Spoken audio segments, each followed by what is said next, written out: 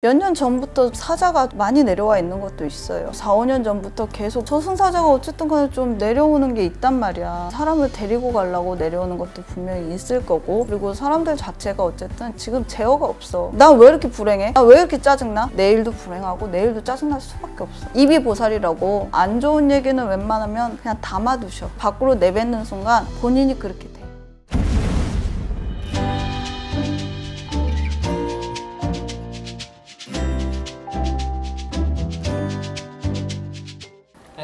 안녕하세요. 도영선녀입니다. 네, 선생님.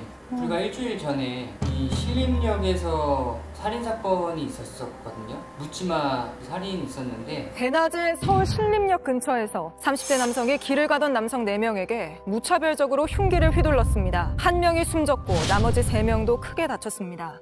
사실 이번뿐만이 아니라 막 묻지마 폭행, 묻지마 살인 이런 것들이 굉장히 많이 일어나고 있잖아요. 막. 음. 이런 사건들이 일어난 이유가 뭐라고 생각하세요?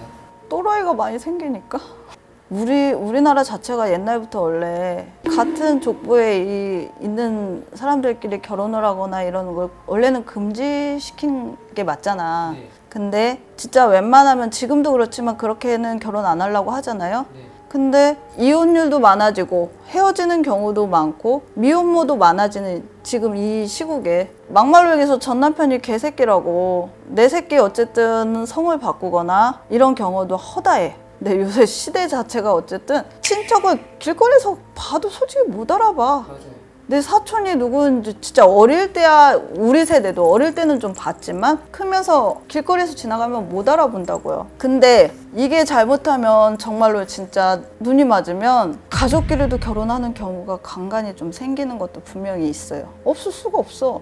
근데 이게 유전적으로 그렇게 좋은 건 아니란 말이지. 정신적으로 어쨌든 아이한테 문제가 분명히 생긴단 말이야. 다른 문제도 분명 이건 과학적으로도 유전적으로 이상한 많아.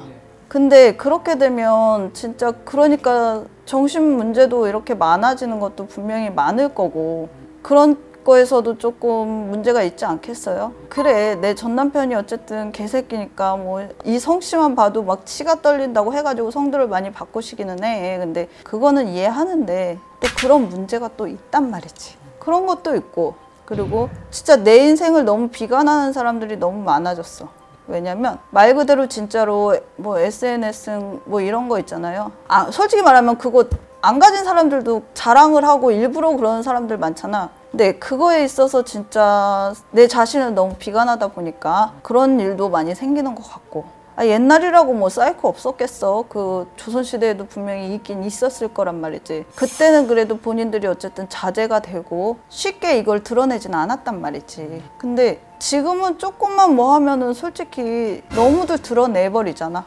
그러니까 그거를 화를 누르다 누르다 어쨌든 한 번에 그렇게 하는 또라이들이 많이 생기는 거고. 뭐 그런 부분에 있어서도 그런 것도 있고. 어, 제가 봤을 때는 어쨌든 그리고 올해는 이게 몇 년 전부터 조금 사자가 조금 많이 내려와 있는 것도 있어요. 저승사자요? 그렇죠. 제가 볼 때는 그래도 4, 5년 전부터 계속 저승사자가 어쨌든 간에 좀 내려오는 게 있단 말이야. 이거는 분명히 사람을 데리고 가려고 내려오는 것도 분명히 있을 거고 연예인들도 분명히 마찬가지지만 저는 또 죽을 사람이 있다고 봐. 이 사람들이 또 댓글들을 많이 달잖아요. 그것도 말로 이렇게 하고 손가락으로 진짜 이렇게만 하는 것 뿐이지. 이것도 칼이야 그 사람들한테는 칼로 한두 번 찔러가지고 그래. 어느 정도 그래. 숨은 쉴 수 있어. 난도질 하듯이 찔러봐. 못 배겨나는 사람들 많아. 그것도 보면 살인이야. 난 그렇다고 보거든요. 그러니까 이 사람 그러니까 사람들 자체가 다들 그런 것 같아. 억제하고 참을 줄을 너무 몰라. 그러지도 마셔 좀 사자도 많이 내려와 있는 편이고 그리고 사람들 자체가 어쨌든 지금 제어가 없어.